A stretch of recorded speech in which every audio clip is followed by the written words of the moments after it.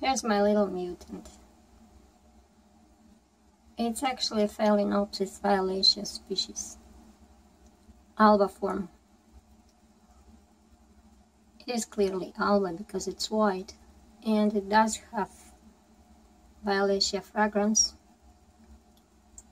but the flowers are missing some parts. I got this plant a few years ago. It had multiple spikes with buds developing, so I was waiting for the buds to open, and they opened, and I got this type of flower. So I thought, oh, maybe that's my conditions. The plant is stressed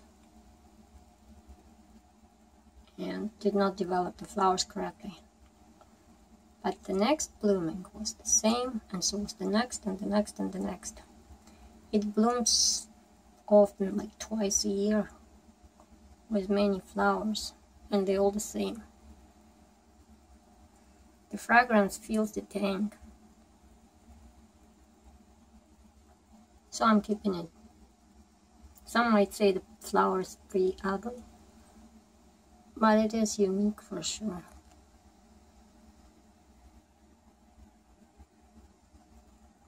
I'm not sure why plant would mutate. Probably something in genetic is not normal. Don't know. But here it is.